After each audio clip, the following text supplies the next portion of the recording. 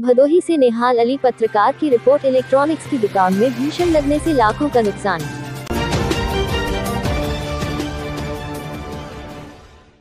ज्ञानपुर, भदोही शहर के लिप्पन तिराहे पर एक रिटेल व होलसेलर इलेक्ट्रॉनिक दुकान के इन्वर्टर में शुक्रवार को शॉर्ट सर्किट से आग लग गई। आग ने भीषण रूप धारण कर लिया। दमकल महकमे को आग बुझाने में कड़ी मशक्कत करनी पड़ी। दो टैंकरों ने कड़ी मशक्कत से आग पर काबू पाया। तब तक दुकान में रखा सब कुछ जलकर राख हो गया। कई लाख की संपत्ति नष्ट होने का अनुमान है।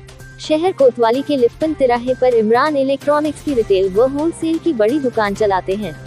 आज शुक्रवार को 10 बजे दिन इमरान ने जब दुकान खोला तो सब कुछ ठीक ठाक रहा। अचानक दिन में लगभग ग्यारह बजकर चालीस मिनट पर उन्होंने दुकान में पिछले हिस्से से धुआँ निकलते देखा। तब तक शायद शॉर्ट सर्किट से लगी आग ने भीषण रुख अख्तियार कर लिया। लोगों ने देखा कि उनकी दुकान के अंदर भीषण आग लगी है। तो आसपास के लोग आग बुझाने के लिए तत्काल दुकान की ओर दौड़ पड़े। दुकान से आग की लपटें उठ रही थी। जानकारी मिलते ही दो दमकल की गाड़ियाँ मौके पर पहुँची। आग की भीषणता से आसपास के लोग बहले हुए थे। काफ़ी मशक्कत के बाद आग पर काबू पाया जा सका। तब तक सब कुछ जलकर नष्ट हो चुका था।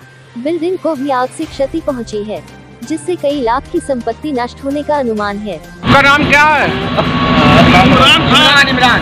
खान कैसे आग लगी बाबू आपके? किस चीज़ की दुकान है वो? मालूम नहीं है। कौन किस की दुकान है ये?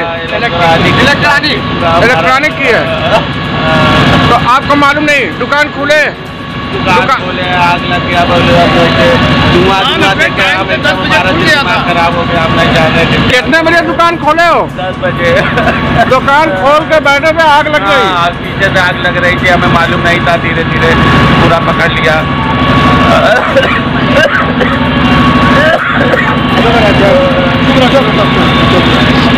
इलेक्ट्रिक इलेक्ट्रिक का सब दुकान था सामान था।